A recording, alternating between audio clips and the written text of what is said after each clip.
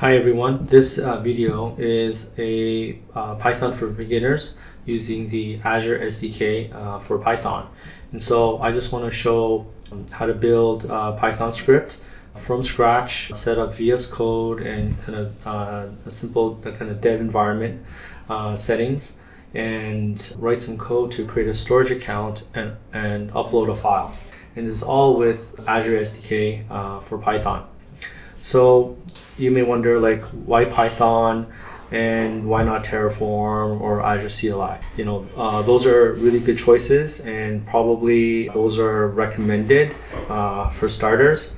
But when you want to get to really uh, highly customized scenarios or uh, highly customized requirements, uh, you know, with the versatile and customizable nature of Python, with uh, the Azure SDK, that's when uh, it would be more appropriate. So let's say you're extending an existing application and it wants to have very tight integration with various Azure resources, managing them, configuring them. Let's say upload uh, files to a storage account. That would be uh, appropriate. Okay, so so if you're starting from scratch and you're on a Windows environment, where do we start? Well, first of all, we need to have uh, let's say we need to have to download Python for Windows. So you just go to uh, python.org, download it, install it, and so that installs the uh, Python interpreter. Uh, next, you know, uh, I'm using uh, VS Code and ensure you're installing the just uh, Python extension for VS Code. And this allows to have IntelliSense debugging and and basic uh, tooling. So here in VS Code, I have the extension here. We have um, workspace environments, the Python packages that come in, installed. I already have a lot of Azure ones already. And then with the this Python extension, you can also switch between different uh, interpreters, right? So if you're uh, want to stick with an older version for certain with the existing code you have, or you pull code from somewhere and that relies on an older version for stability, you have that flexibility. Okay, um, look at a very simple uh, Python script here, right? And how we can use VS Code. So you create a file uh, .py, right? And it will recognize that. And then this code here run Python and enter your name, my name here, and then out outputs that out. And as you can see, there's a debugger. run in debug and enter my name. And you can see various variables okay? And and step through them okay? So that's really the basic features of the extension and there's more uh, capabilities, but that's the extent of the what I'm showing you. So, okay, now let's move on to the concept of uh, pip install. So pip is a, a, kind of a package manager that comes with the uh, Python install, and we can install various uh, uh packages and libraries. Okay, so you can kind of go, you can you could go like pip install and then the, the package name.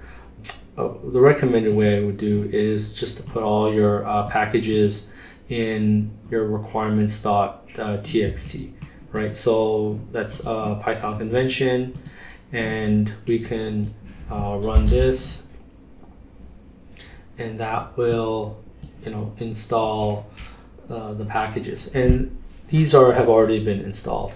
Okay. And the next thing um, uh, is recommended to do is good practice is that uh, when you're starting off on a project, you should have, let's say, a virtual environment. Okay, a virtual environment is simply uh, a folder in, your um, your project, your working folder, and it is just uh, an isolated environment of files specific to uh, versions of pa packages that you installed and also even the, the Python interpreter that you, that you choose.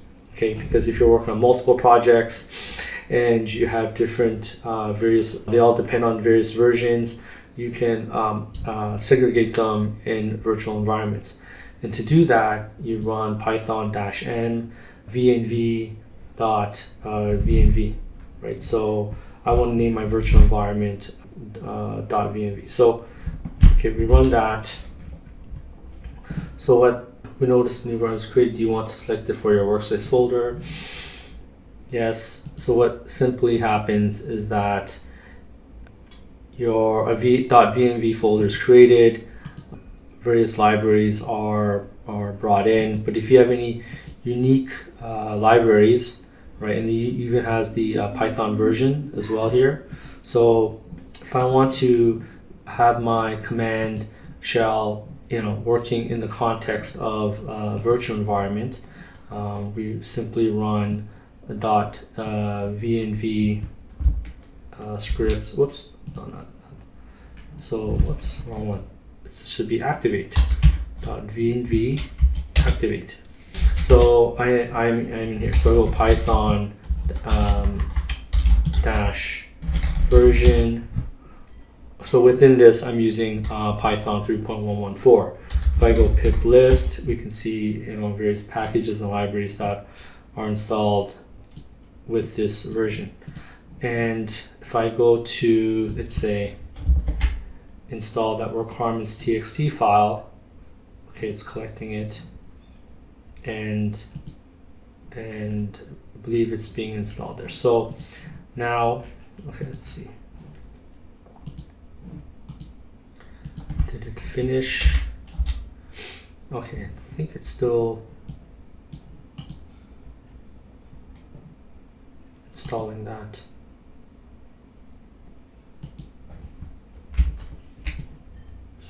Pip, pip list.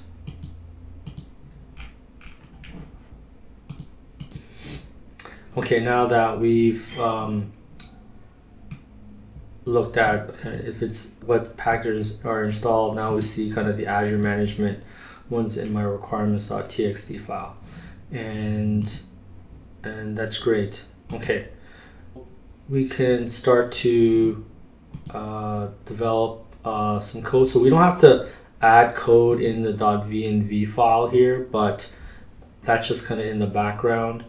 So let's create a new, new file and I want to call it create az storage. Oops, Create storage storage storage.py. Okay. Uh, with that, we want to bring in some import statements. And so um, after we've uh, imported uh, all the uh, libraries, now the first step is to log into my Azure environment, my tenant and uh, subscription, uh, create the storage account, and uh, into an existing resource group that I, I that's already created and upload a file which is this one right here okay into a blob container. And we're going to use that uh, do that with using the Azure SDK libraries. So there is a um, management client okay and a kind of storage uh, management client and a blob service client that we'll be using Okay, so the kind of management client is more for kind of administration, uh, kind of creating the resource, configuring kind of the life, uh, you know, general lifecycle management where um, things like the service clients uh, are more kind of using the service, right? The Azure resource, right? So in this case, I need the blob service client to, you know, upload upload the file and so you know it's maybe more geared to the persona of let's say a, uh, a developer let's say where management client is more the administrator or devops engineer. So keep that in mind. Okay so um, right now i basically um, just you know kind of log logged in more or less right here and already. And so that will uh, kind of grab the kind of login uh, kind of like uh, session right based based off of that okay and uh, next is uh, you know, I generally like to set up uh, environment variables of a subscription ID for this uh, for this demo purposes, uh, print it out. And so the first, uh, you know, real use of um, the Azure SDK is getting the resource management client. So I pass in the credential, subscription ID, and I want to get the uh, resource group. Okay, and uh, with that, I, I create or update. Um, in this in my in this situation, since it's already created, it's gonna get um, the uh, object of the already existing resource group. Okay, so yeah, I'll bring in the next bit of code here for that. I'll bring it okay, and and then I continue on uh, to like provision the storage account. So I use the storage management client, passing credential subscription ID. Uh, here I uh, create a uh, storage account name and kind of randomize uh, a, a, a, suffix, right, to keep it uh, unique, more or less unique, okay? And go ahead, check if the name is available, um, and if it is, then good. If not, then print that it's already in use and then go ahead and create. So it's cool that um, uh, we can have a poller here, right? Because it's not immediate when it gets created. Uh, while, while it's creating, it can take like, you know, a few seconds, 10 seconds. Um, so it's good to have that uh, poller um, while it's, it's waiting for it, you know. And uh, once that is created, uh, again, we use the uh, storage client uh, object and get the keys based on the resource group and account name, print that out, um, and then you know we establish the connection string, and then um, and the next step is to create a storage account blob container right? And a blob container is where we need to actually store a, a file, okay? We call it uh, blob container dash zero one. So we go ahead and create that, right? And it's provisioned and then pass, and then, you know, I pick up the uh, sample file right here, okay? Uh, which is just kind of very local in my project folder. And using the uh, blob service client, you know, make create a connection, you know, get the container, and then um, get the uh, blob uh, client. And with that client, we can right here uh, open the file and upload the, the file. Okay. And lastly, I just simply um, ask if I want to clean it up uh, and if I say yes, I use the storage client to basic to you know delete the resource to clean it up. So why don't we go ahead and try to run this and then see see what happens. So there's my subscription ID. Uh, my resource group is demo group.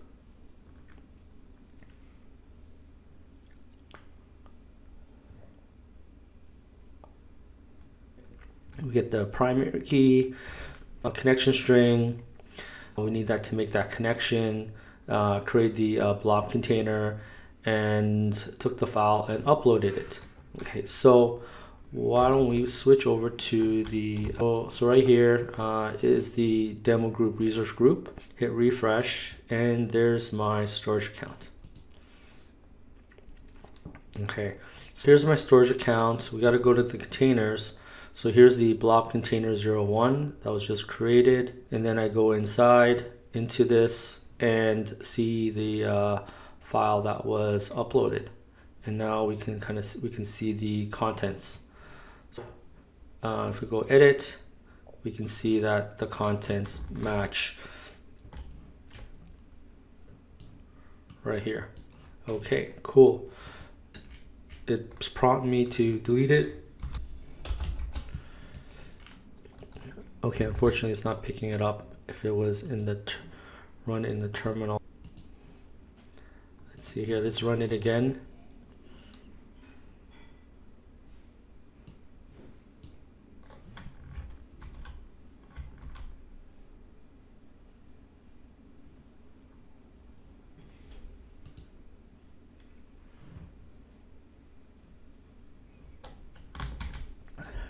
So we hit yes.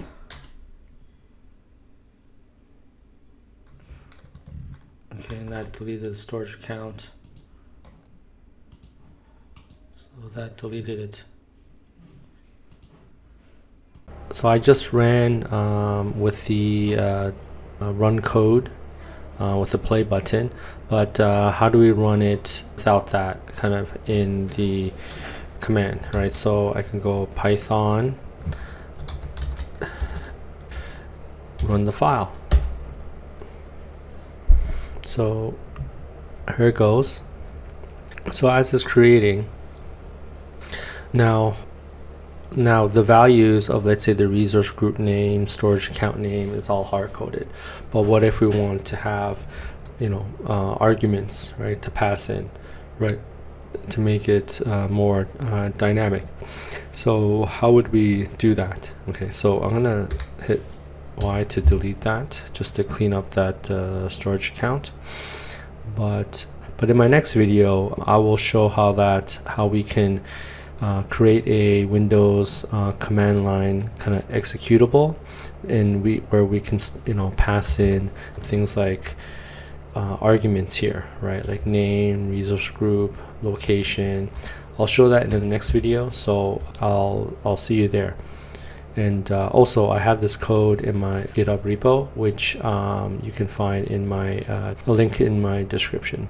Okay thank you. Thanks for watching